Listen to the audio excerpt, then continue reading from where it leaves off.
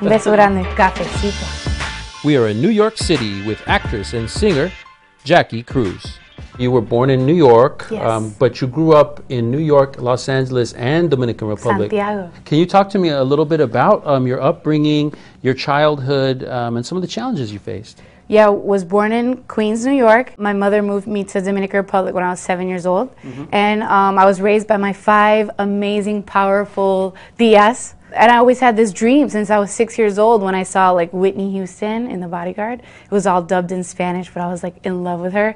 And uh, I was like, okay, I want to be an actress and a singer. Like, that's what I want. So my mom was like, okay, if that's what you really want to do, she started putting me in, in lessons. I, I played the saxophone. I took singing lessons, acting classes, and I was six. And at 15, she moved me to Hollywood to become an actress. So after that, I went to Music Academy in Hamilton Music Academy, and then I had a huge car accident when I was 17. Really awful, but um, I had brain surgery. You know, it was like I had to learn how to walk, talk, everything You were homeless for a little while as a teenager, right? because I was a bad kid. Like I didn't like my mother's rules. A Dominican mom, she's very strict. I was like, I'm gonna move out, and she's like, Oh, you want to be an adult? Go ahead. Yeah, so I was homeless for a little bit, but my I tried to go back home, and she's like, No, this is how it is to be an adult. You go be an adult. It just made me who I am today. Like I appreciate everything that's happening to me, and I stay grounded.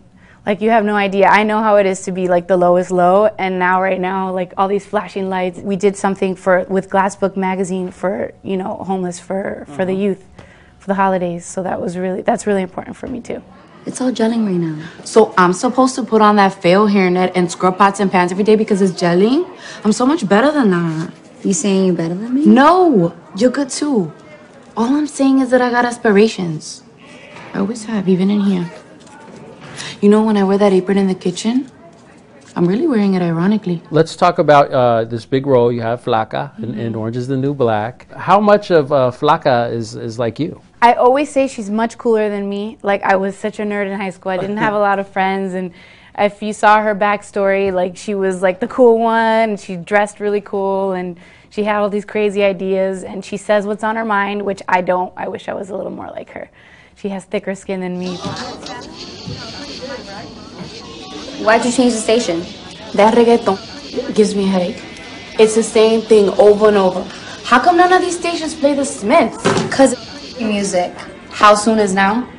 It's like an 80s anthem. Yeah, we, we have that passion for music. But you know, she listens to the Smiths. She has cool style. Like she's Americanized, like me. Like there's like uh, the millennial Latina. You know. Well, we're here in New York City at P&G's um, Orgullosa Living Fabulosa event, where the theme is tonight the Living important fabulosa. Living Fabulosa. Orgullosa de ser Latina. Exacto, exacto. And also, one of, the, one of the major themes of the discussion tonight is about Latinas um, and the importance of having role models and Yeah. mentors. Can you talk about some of the role models and mentors through your life? you know, I was raised in the Dominican Republic.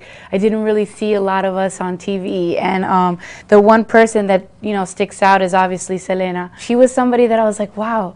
Well, I was a kid, but she's like, she's a singer and she's in America and she's actually making it happen. It's so important because I honestly didn't have a lot of um, people I looked up to growing up. You know, I never saw anyone like me on TV.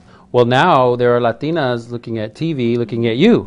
You're the roles of That's sort of actually so special to me. That's actually the most important thing. Like I do inspirational speeches around um, the, the U.S. and um, I think now having a voice and having you know other uh, Latinas or any type of young woman look up to me is like the most special thing. What advice do you have for that young Latina out there, that young person out there that's facing some challenges? You've had definitely some challenges. Yeah, I was pretty bad.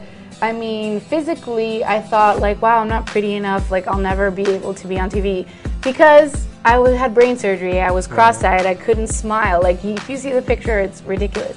So I would look at myself. I was like, all I see in Hollywood are like beautiful people, and I'm like, there's no way I can make it. But let me tell you something. Beauty is something that comes from within, and I learned that the hard way. And trust me, with your personality, with your talent, you could do anything that you want. Hi, how are you? I'm Jackie Cruz. You may know me as La Flaca on Orange is the New Black, and you're watching Cafecito.